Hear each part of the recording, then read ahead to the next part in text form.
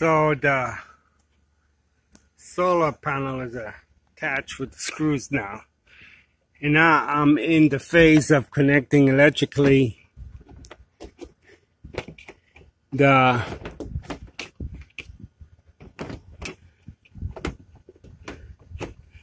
connecting electric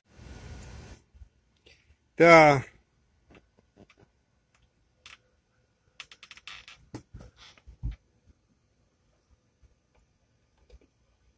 solar panel screwed and I'm ready to do the electrical run between the solar panel to the Kodiak solar generator.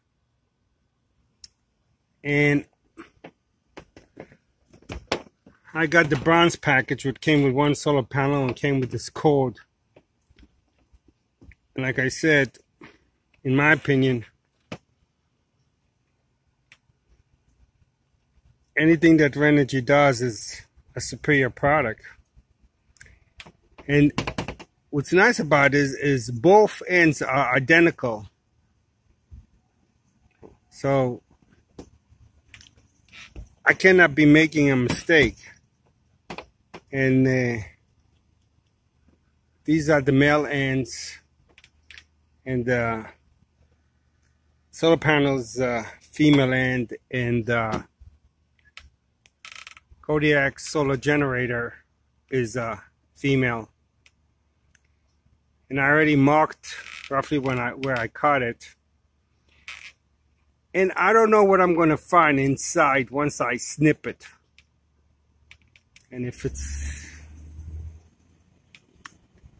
it, eh, like anything else that Inergy does, I'll have no problem, but if they don't, if the cables are identical, then I'll have to identify each cable right after the snip. But we'll see it in a little bit. This is the side of the cable that's going to drop down to the Kodiak solar generator.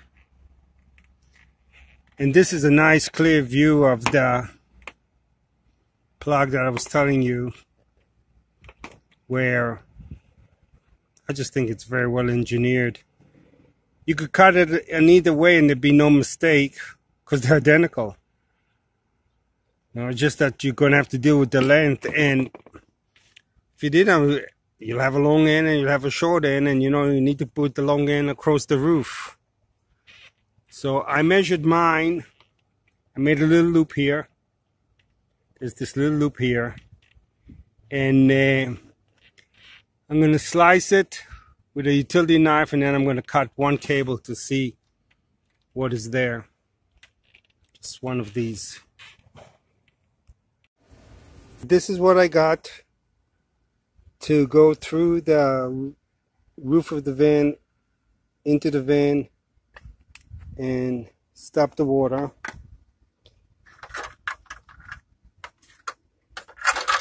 you have to slide it over the leads. And I could only get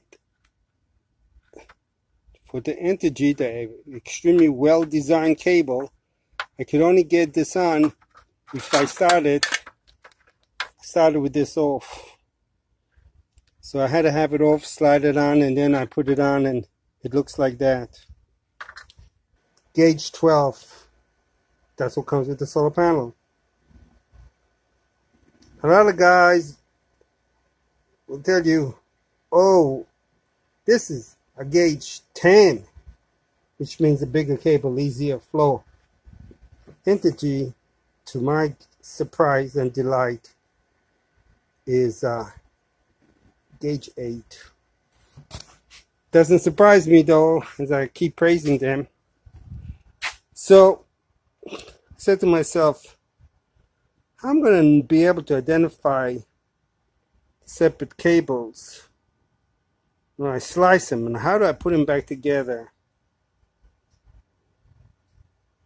All I have to do is match the writing. I don't know if you'll be able to see it but uh, yeah here it is one cable has writing on it and the other doesn't. So where I cut him I take the side that has writing I match it to the side that has writing I take the side that doesn't have writing I attach it to the side that doesn't have writing. Cables connected correctly. Nothing to it straightforward. 3A drill to go to the roof. 3 And for the 3-8 drill, I'm to use grommet. I'm to use the M9.53. And I got two that I'm to have to increase the hole a little bit. That's no big deal. So I drilled the hole. I put the grommets. Probably have to ride them up, ride them up on up on the cable. I will have to do that. And then when the cable is roughly the length I want, I'll ins I'll insert the grommets in the hole. Then I put the junction box on it. By the way, I will use the 3M tape on it also. When I get to it, I'll let you guys know. Transit 15 passenger van and has an airbag running the whole length of the van. And I try to figure out how am I going to come in with the connections to the on the top and affecting the airbag. Here's a look at that airbag. Okay, and I noticed that I could come in here. I could I could come in here in this hole and I could exit here. So now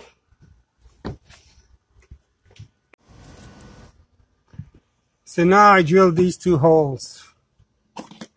I'm gonna come with uh, not the way I wanted to, not the aer aerodynamic, but I'm going in with the cables right in here. Right above the conduit for the air conditioning vent.